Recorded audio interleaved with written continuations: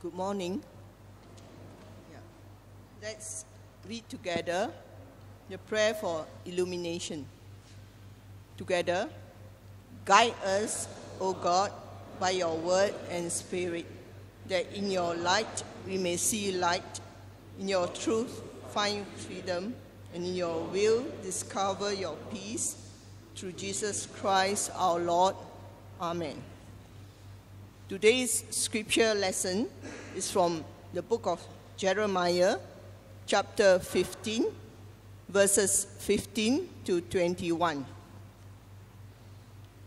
Jeremiah chapter 15, verse 15. You understand, O Lord, remember me and care for me. Avenge me on my persecutors you are long suffering. Do not take me away. Think of how I suffer reproach for your sake.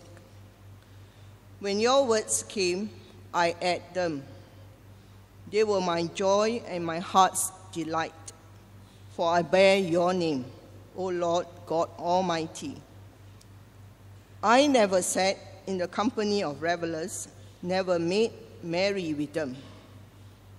I sat alone because your hand was on me, and you had filled me with indignation.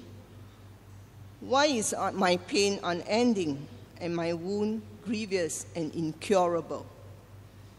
Will you be to me like a deceptive brook, like a spring that fails? Therefore, this is what the Lord says If you repent I will restore you, that you may serve me. If you utter worthy, not worthless words, you will be my spokesman. Let these people turn to you, but you must not turn to them. I will make you a wall to these people, a fortified wall of bronze. They will fight against you, but will not overcome you for I am with you to rescue and save you, declares the Lord. I will save you from the hands of the wicked and redeem you from the grasp of the cruel. This is the word of the Lord. Thanks be to God. Friends, uh, this morning we are very privileged to have uh, our dear brother, uh, Reverend Dr. Gordon Wong, uh, who is the president of TRAC Singapore, to share God's word with us. You know what happened was uh, end of last year when we had our annual conference, Dr. Gordon came to see me and asked me, you know, say, uh, can the Singapore pastors come and visit us on this Sunday? And I say, no problem, as long as one of you take the pulpit on that Sunday. And so he is now here to pay his dues. okay? And so we welcome Reverend Dr. Gordon.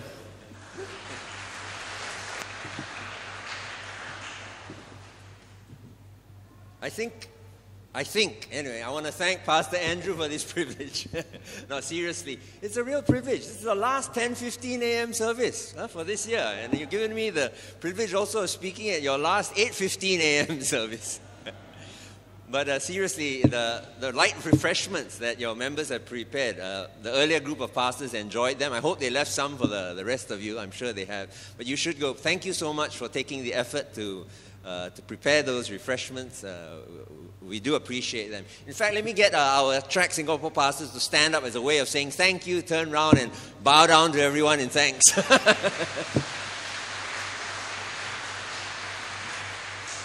thank you. Thank you very much. We have over this last week enjoyed fellowship with your pastors, not just with uh, Pastor Andrew and Pastor Danny, but with the other TRAC Malaysia pastors, and uh, a good time of fellowship and, and, getting to be able to pray with one another. Uh, you have been blessed with two very uh, gifted pastors. See, Pastor Danny on his playing the percussion, and Pastor Andrew. I, I guess you all already know this, but you know, uh, he was selected during our pastors' retreat to represent Jesus in one skit and, and he rep- represented Jesus very well.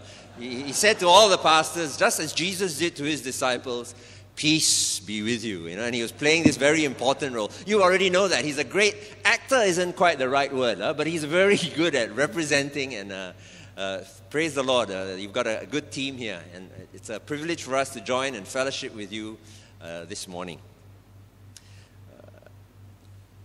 The passage of scripture in Jeremiah chapter 15 has been, has been read for us. Uh, I, I will from time to time be putting up some of the verses, but you may want to keep your Bible open as well. Before I share some thoughts or reflections from these words of Jeremiah, uh, which we believe are God's words uh, to us, please join me in prayer.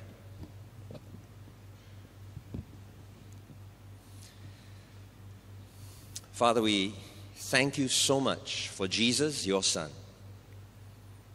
We thank you for the gift of your written word and these words of your prophet Jeremiah. We pray that your Holy Spirit will take these words of Jeremiah and guide our thoughts, our reflections, that we may hear your life giving word, your love bringing new joy and courage into each of our hearts again. We pray in Jesus' name. Amen.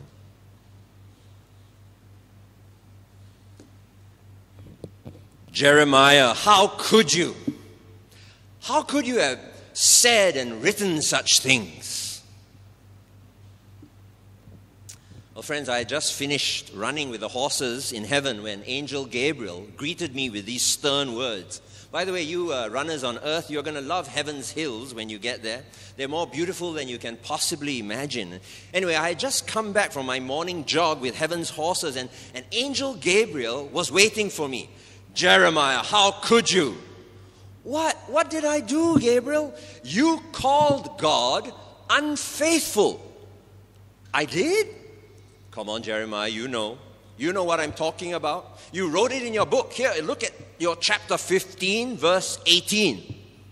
Why, you wrote, why is my pain unending and my wound grievous and incurable? And then your next line, I, I hardly dare to read it.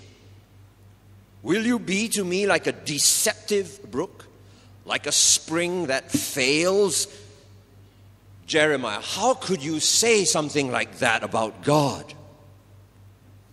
Well, well, uh, Gabriel, righteous Job said a very similar thing.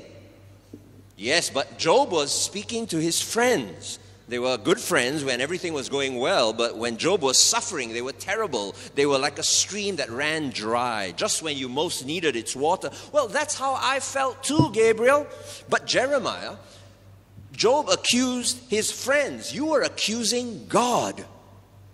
You accused God of, being like a stream that runs dry just when you most need its water. How could you say that about God? Well, I, I guess it was a little rude. Rude, it was blasphemous. Don't you know that God is, is a fountain of living water?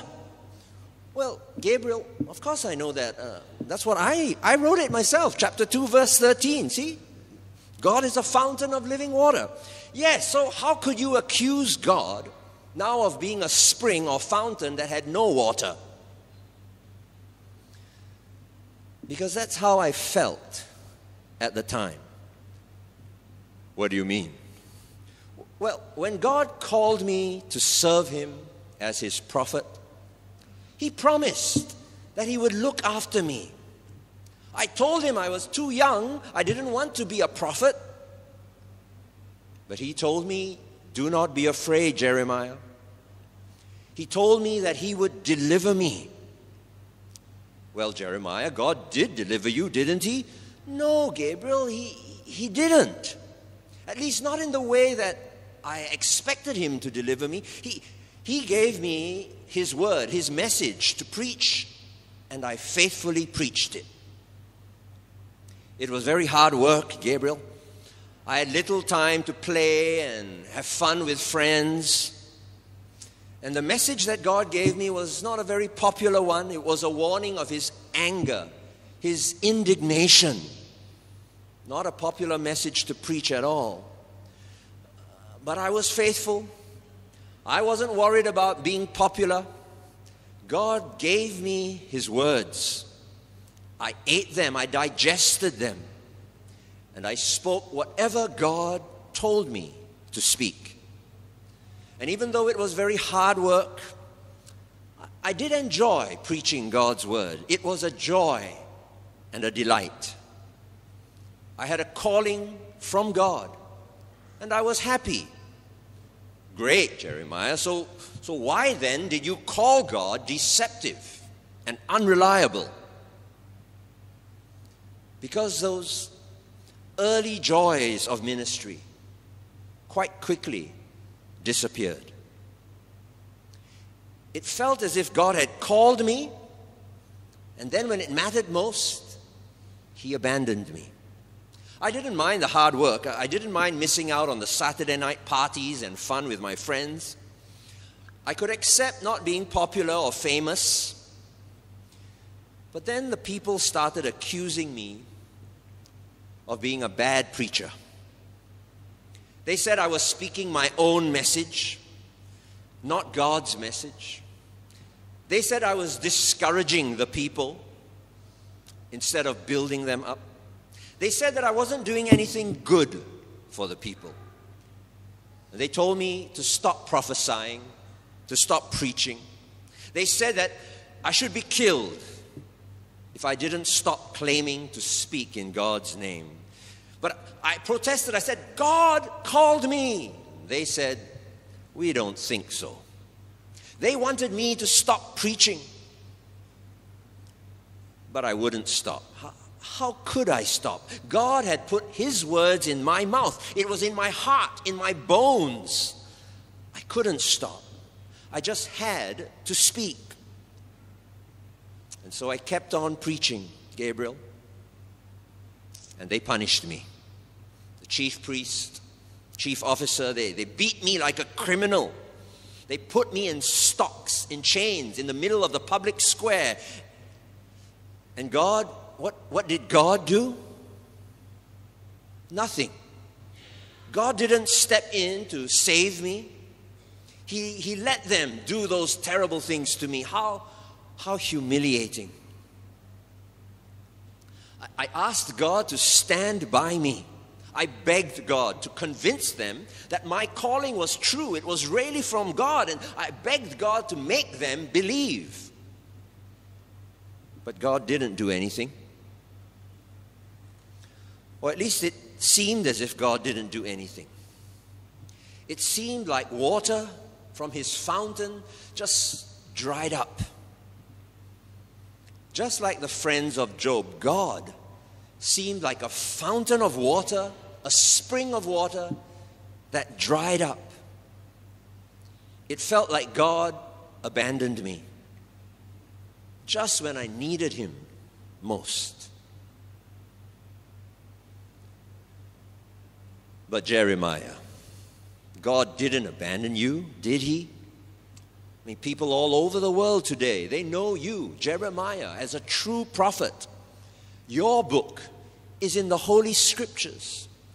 All those people those days, they were wrong about you to call you a false prophet. God did deliver you, Jeremiah. Yes, Gabriel, God did. So, how could you, Jeremiah? How could you have called God deceptive? You, you even dared to use the word that is, that is most characteristic of God, the word unfaithful. I mean, you, you, you use the word unfaithful. God is is faithful. If anything, if nothing else, God is the faithful one, and you called him not faithful. How could you? God was, is, always will be the faithful one. I know that, Gabriel. I, I probably even knew that when I, when I wrote those words, accusing God of being unfaithful. How? How could you do that? Gabriel, uh, Jeremiah, how could you do that? And you not only called him unfaithful, you called him deceitful. Why would you record such terrible words, untrue words, in your book? I don't know, Gabriel.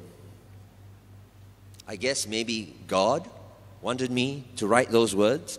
God? Well,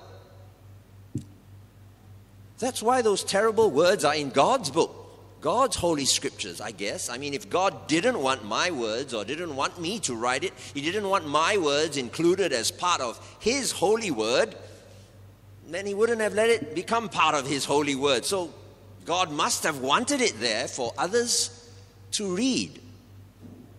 But why, Jeremiah? Why would God want that? Why would God want other people to read words that are not true? Tell me, Jeremiah, tell me. Oh, Gabriel, will you please be an angel? Go and ask God directly. I did, Jeremiah, and God told me that I should come and ask you. God did that. That's just like God, isn't it? Okay, Gabriel, here's what I think.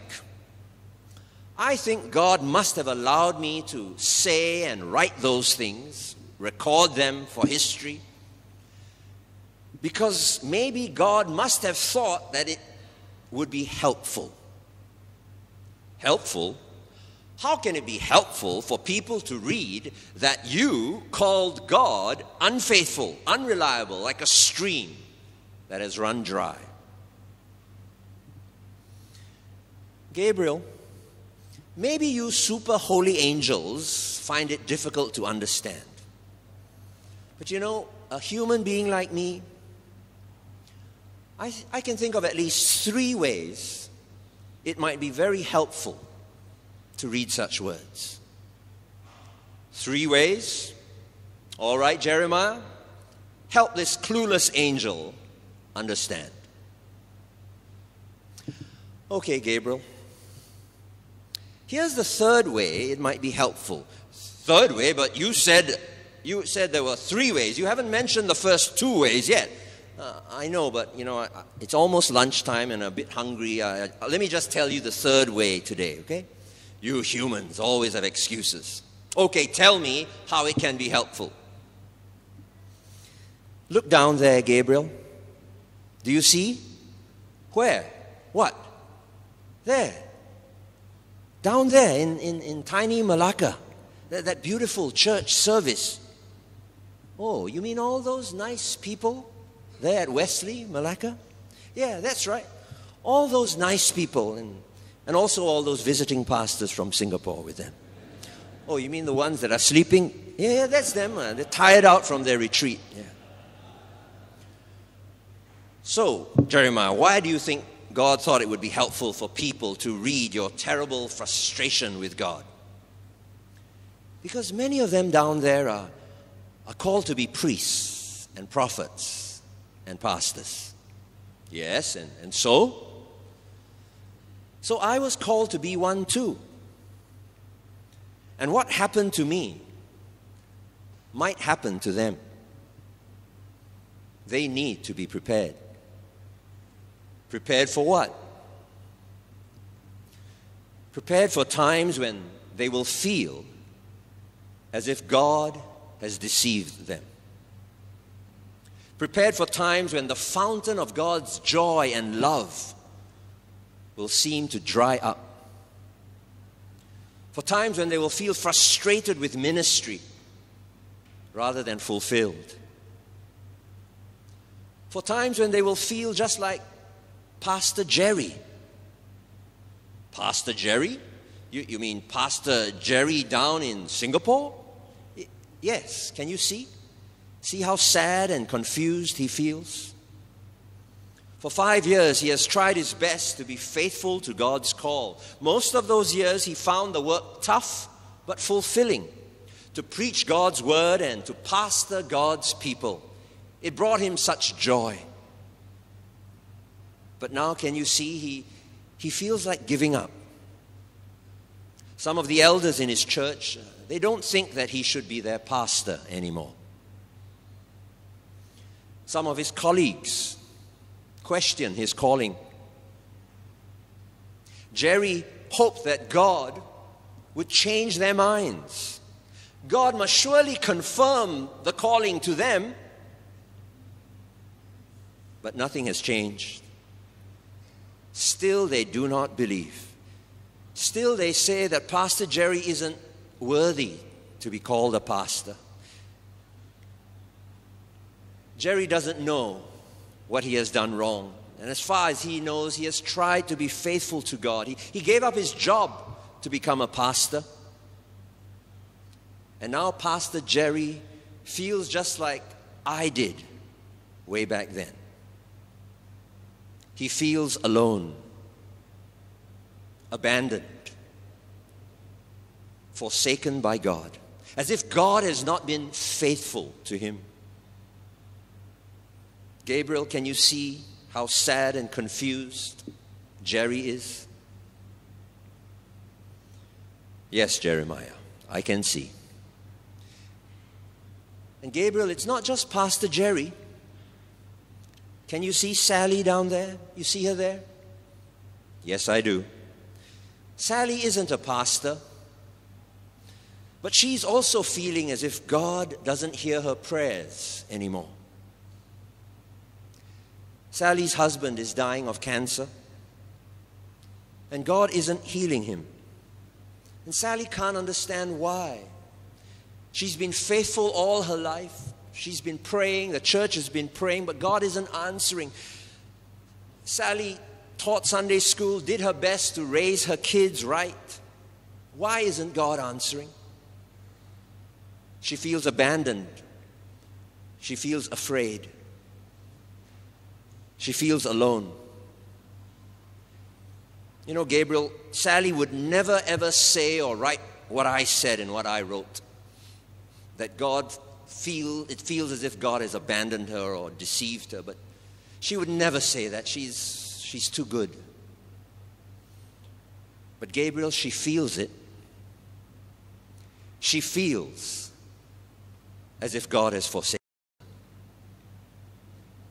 As if God is like a fountain of water, a spring that has now gone dry. Just when she needs God the most. Can an angel understand that, Gabriel? Yes, Jeremiah. I think I'm beginning to understand. Then please go down, Gabriel. Go down and help Sally. Go down and help Jerry. But what can I tell them, Jeremiah? Tell them that the prophet Jeremiah also felt the way that they feel forsaken and alone. Tell them that Jeremiah was also rejected by his colleagues and friends and leaders. Tell them, tell them what God told Jeremiah, what God told me.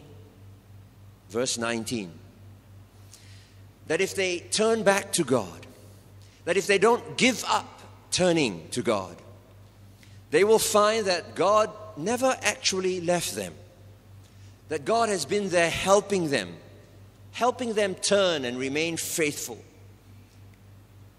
Tell them to keep turning to God, to keep bringing their tears and their frustrations to God in prayer. And Gabriel, tell them that God is there, right by their side, even though it may feel that God is far away. Tell them that God loves them.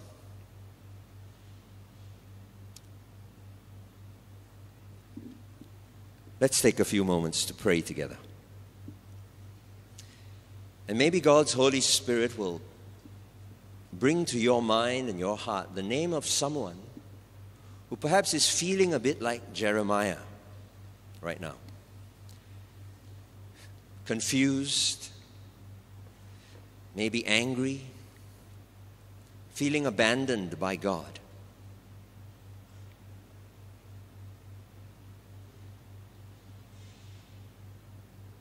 That person may be yourself this morning.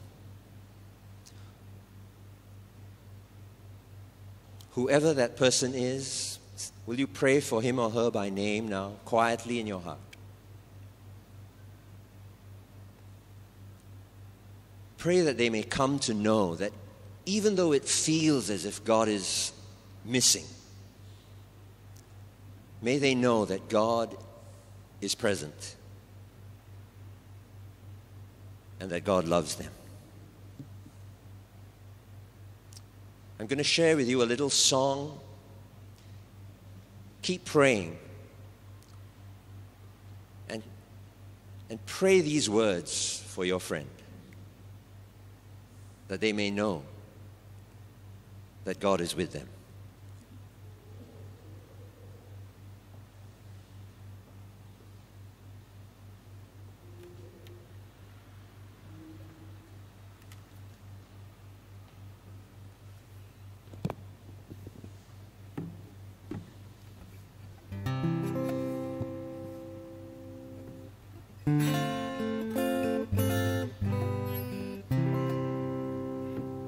Tell my people I love them. Tell my people I care. When they feel far away from me, tell my people I'm there. Please tell Jerry I love him. Please tell Jerry I care. When he feels far away from me, please tell Jerry I'm there. Please tell Sally I love Please tell Sally I care. When she feels far away from me, please tell Sally I'm there. Tell my people I love them. Tell my people I care. When they feel far away from me, tell my people I'm there.